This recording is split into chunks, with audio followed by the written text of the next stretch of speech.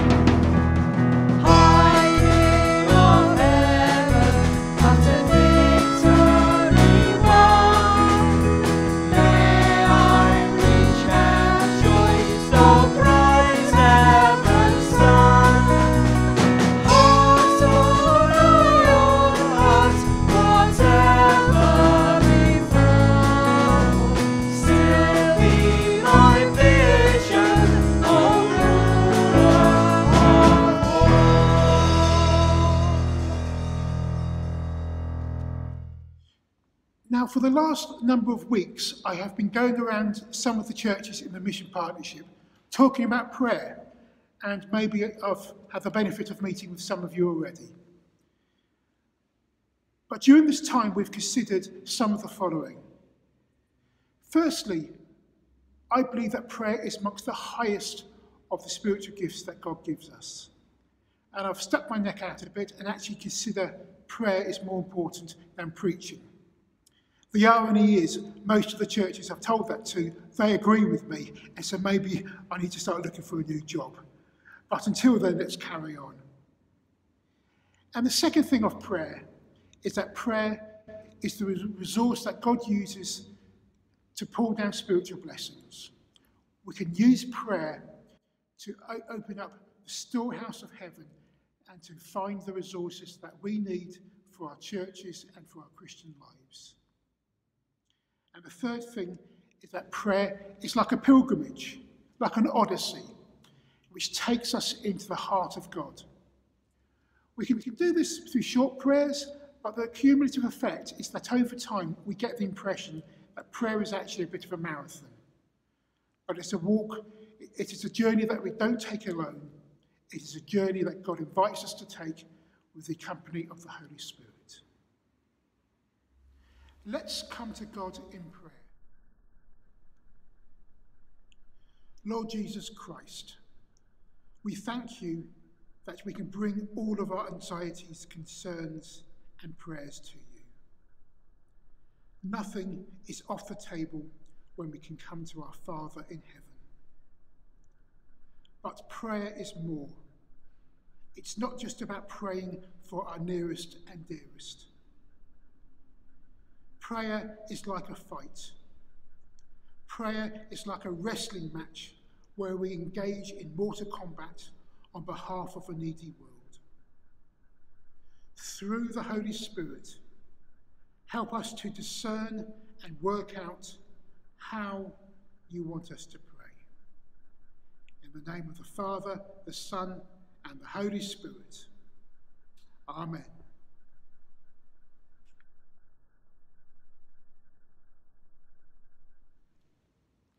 COVID 19 is a new bug that has caught us completely unawares. One small little bug has turned our world upside down. And it feels like at the moment we're trying to run up to keep up with it. It feels that we are in the shadows. We're being forced into isolation, forced to stop meeting as communities, and forced to stay away from places where we like to socialise it definitely feels that we have been pushed into the shadows. Sometime, hopefully, we'll get a vaccine. That day's not yet here, but let's hope and pray for that day to arrive soon. So now we're going to have a small little quiz to just remind us how we got here.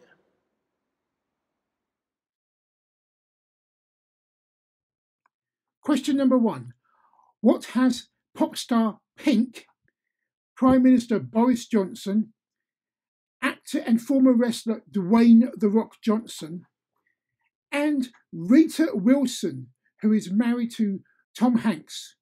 What do they all have in common?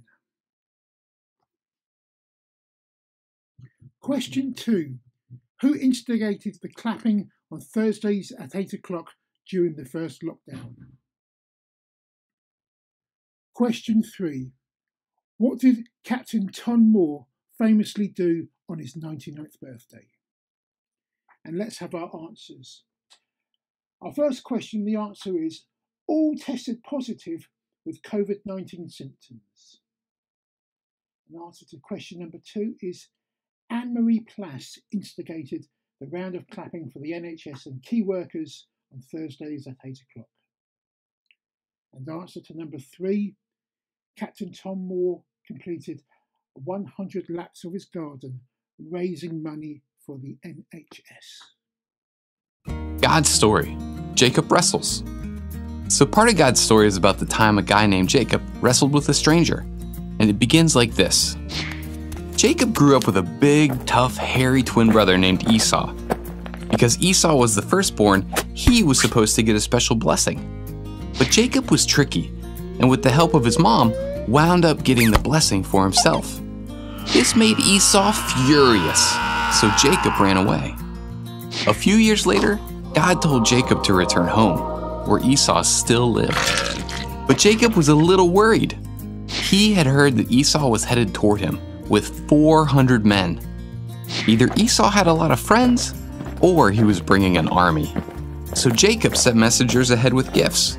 Hopefully, if Esau was still angry with him, the gifts would calm him down. While Jacob was traveling, he stopped by a river. Now, God hadn't asked Jacob to stop, he stopped because he was afraid. He sent his family and servants and everything he owned across the river. Then he waited, alone, crying out to God in frustration. Jacob knew God had promised to be with him, but he was terrified. Suddenly, a man came into the camp out of nowhere and began to wrestle Jacob. Jacob fought back, and this was a knockdown, drag out title fight. All night, neither one of these fighters backed down. In fact, they wrestled for so long that the sun started to come up. When the stranger saw that Jacob wasn't going to give up, he touched Jacob's hip, and that simple touch pulled Jacob's hip out of socket, causing him to limp. Then the man said, Let me go. But Jacob knew there was something special about this guy. So he said, I won't let you go unless you bless me. The stranger stopped fighting and gave Jacob a new name. He said, Your name will no longer be Jacob.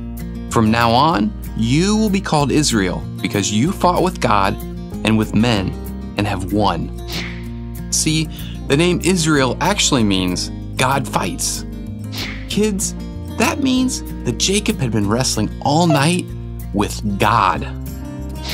Anyway, right after that, the stranger did bless Jacob.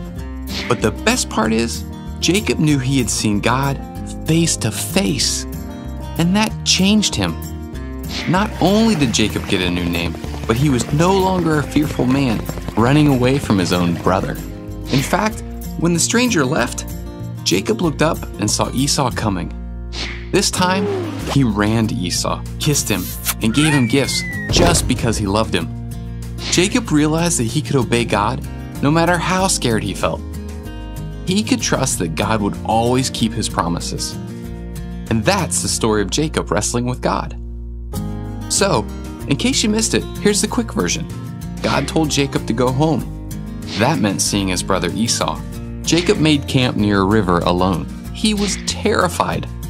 A stranger came and wrestled him. They fought until dawn. The stranger touched Jacob's hip. The wrestling match was over. Jacob asked for a blessing. He got a new name first. It was Israel. The stranger was God. Jacob went to meet Esau. He trusted God. And that's a part of God's story.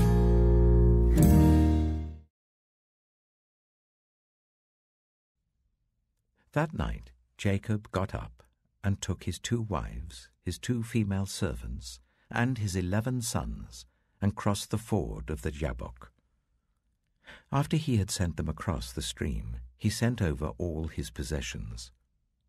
So Jacob was left alone. And a man wrestled with him till daybreak.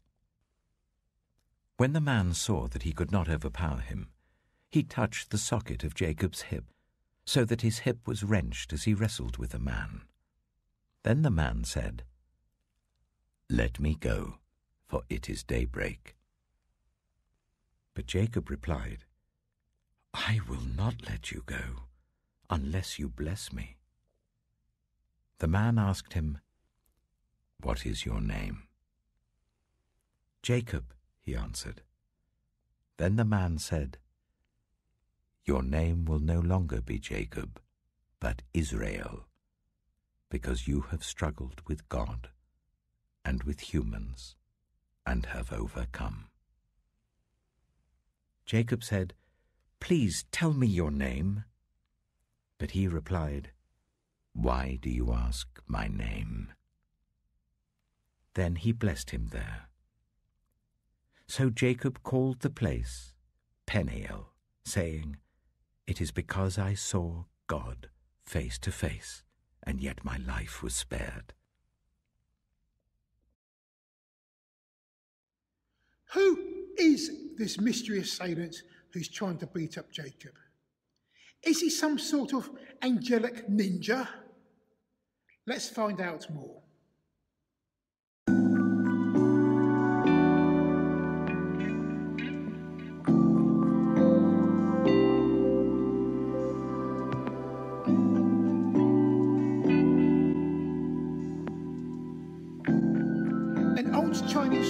Says that you can only get to know someone by fighting with them. And as we're going to find out, Jacob starts to discover who his mystery assailant is in the very act of fighting.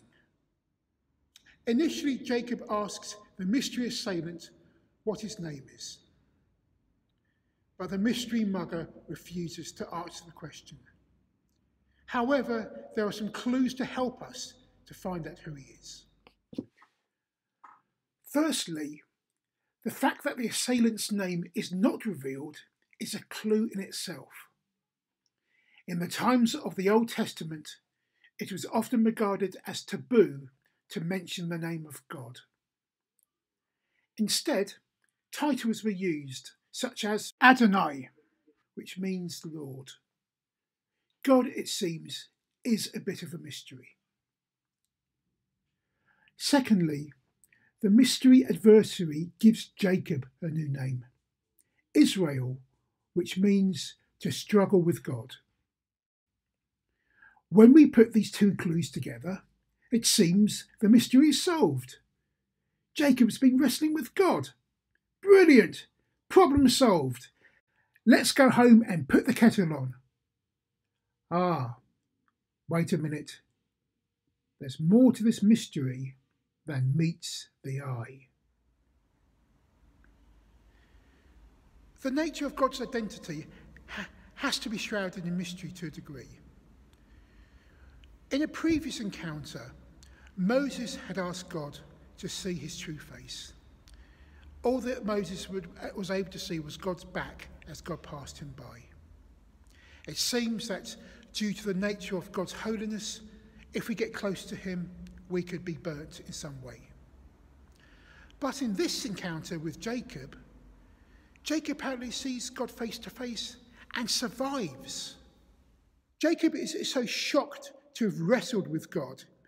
He names the place where they wrestle Peniel. And Peniel means to have wrestled with God, to have seen him face to face and survived. So you could call Peniel a bit like a Bronze Age squared circle, a wrestling ring to battle with the Almighty. Now, as a kid, I used to love watching wrestling on Saturday afternoons on ITV and I really enjoyed Big Daddy and Giant Haystacks fighting each other. And what I liked especially was seeing the occasional masked wrestler being unmasked live on TV.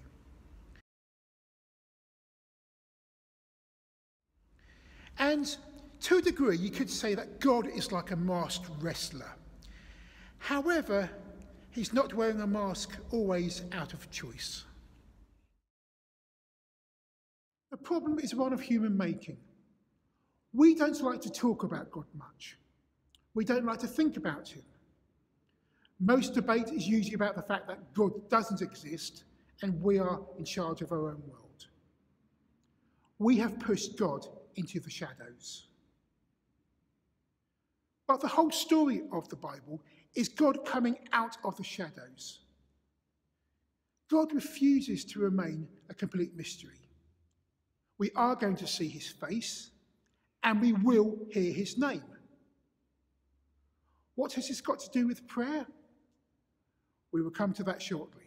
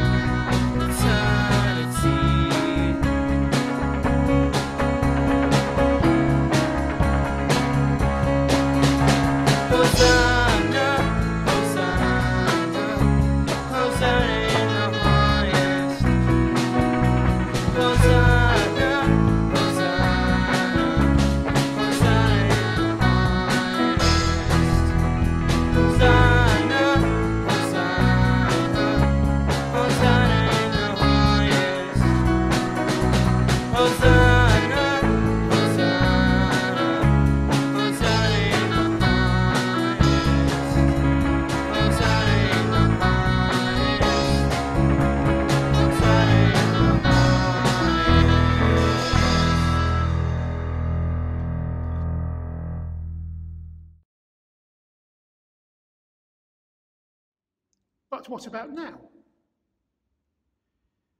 Is God back in the shadows? Many churches are closed. Those churches that are open have got very strict rules about social adherence and stuff. And those who do come to worship, well, they look like masked wrestlers. And John Bradbury, our General Secretary, makes the point that the, our denomination has been in quite decline since its inception in the early 1970s. And now, with COVID on top of everything, what is going on? Is God back in the shadows? But maybe it's us who are in the shadows. Maybe God's still out there in broad daylight working in people's lives. I would suggest using a pattern of prayer which calls upon some of the things that God has told us about himself. We're told that Jesus is the same yesterday, today, and forever. We're encouraged to love God, our neighbour, and ourselves. We are reminded that three great things should, would last forever faith, hope, and love, the greatest of these being love. These triplets appear many times in the New Testament, and they're almost like an echo. They're reminding us of something of the threefold nature of God God as Father, God as Son, and God as Holy Spirit. God is multidimensional, and for us who live in a three dimensional world, understanding God is very difficult. And the Trinitarian nature of God, it took hundreds of years for our church ancestors to come up with a theological way of grappling with this. It's kind of crazy, really. God, who's eternal, comes into our limited three dimensional world in three personalities God the Father, God the Son, and God the Holy Spirit. Firstly, there is God the Father, the creator of the heavens and the earth. He saw us mess up the world and simply declared, This ain't going on. To slightly, to slightly twist the words of the Lord's Prayer, he decided, My kingdom come my will be done on earth as it is in heaven. Secondly, we have Jesus, the Son of God. There at the creation of the world, whose very fingers were on all of the atoms being sparked into existence. He comes back to planet Earth to wear human skin to announce God the Father's intention that his reign is starting again. Jesus knows full well that human nature is corrupt and broken, and we like to stay in the shadows. But he declares the light of God and calls us out of the shadow land we live in. Thirdly, we have the Holy Spirit, the often forgotten and masked member of the Trinity. The Holy Spirit is our comforter, God's presence with Jesus gone back to heaven. The Holy Spirit is the breath of God which brings air to our lungs. It is the Holy Spirit who calls us to bring, who calls us to come back to God. Now, there's one final interesting part of the story of Jacob wrestling with God. God gave Jacob a new name, the name of Israel. And this prayerful wrestling changed Jacob. It became, he became a new person. It took him to a new place. And this is what prayer does with us. It's as if this prayerful wrestling draws us out of the shadows, draws us towards God. It takes the mask that we might be wearing off to reveal who God wants us to be. But it's in a time, particularly now, when we're trying to work out who are we? What are we supposed to do? What is our future? God calls us to pray now. So during the, the month of November, we ask that the churches of the Rochdale, Bury, and North Manchester Mission Partnership come together in prayer. And the prayer is just simple. We're praying for our future direction. We need God's guidance. We ask that churches who meet together as congregations pray every Sunday. We ask that any midweek groups will be prepared to pray when they meet. We ask for anyone who's watching online or is shielding safely at home, join us in these prayers too. The prayer that we use is very simple. It follows the pattern of the Trinity. It reminds us of who God is and how God intends to respond. Please join me as we come to God in prayer.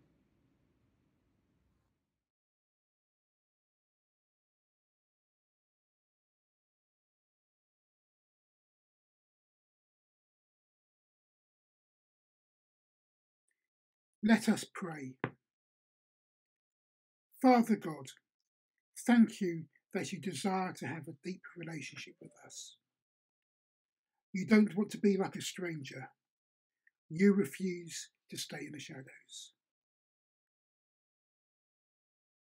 Father Almighty, Maker of the heavens and the earth, set your kingdom in our midst. Lord Jesus Christ, Son of the living God, have mercy on me, a sinner. Holy Spirit, breath of the living God. Renew me, the church, and all the world. Amen.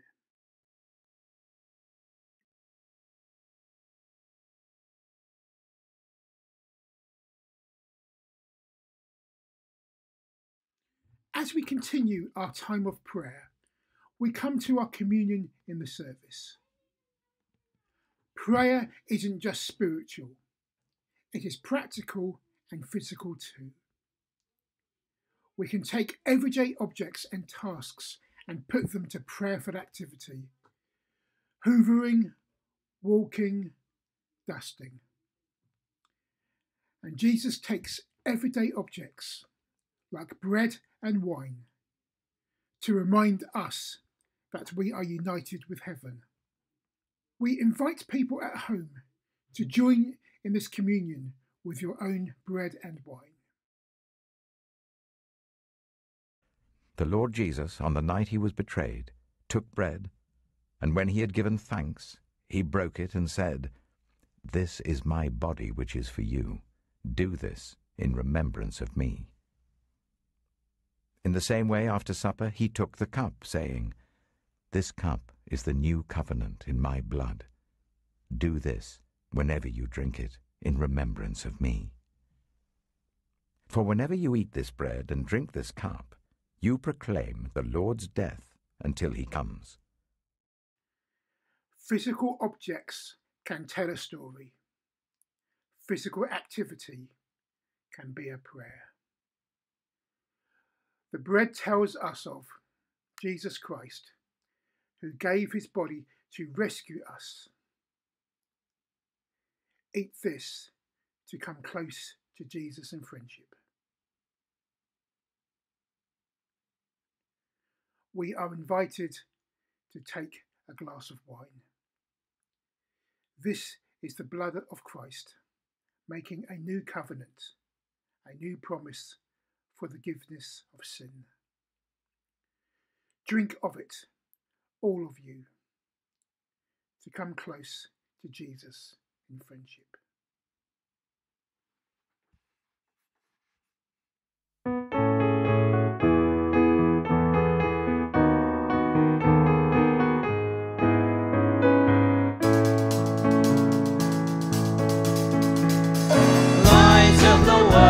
step down.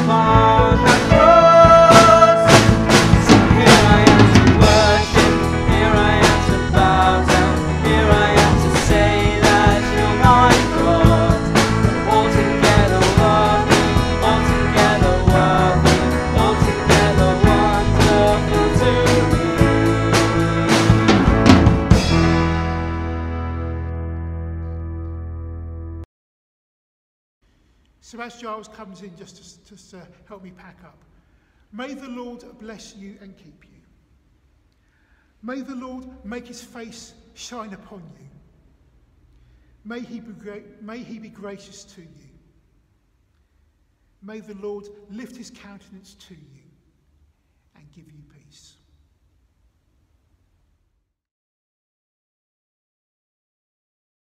Let's have a look through another of the school doors today.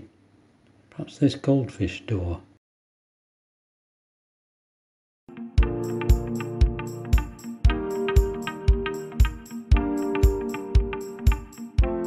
On behalf of children of Kiribati, I am delighted to convey word of gratitude to all teachers in Kiribati for their hard work in teaching us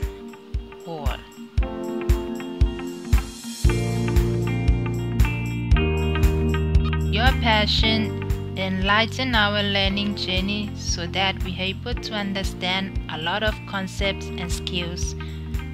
We become knowledgeable children and in the future we will make use these concepts and skills in real life and become useful and fruitful. We are grateful for all your continuous assistance in supporting us in our learning during COVID 19 lockdown. You taught us how to avoid COVID 19 using these steps. Always wash your hands with water and soap and distancing 2 meters from your friend.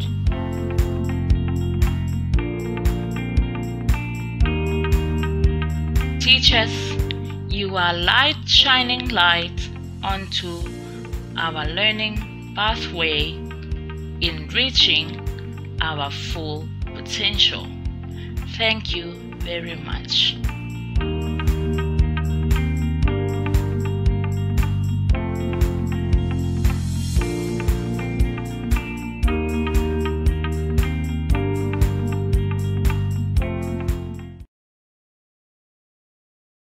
And the project total to date is £833.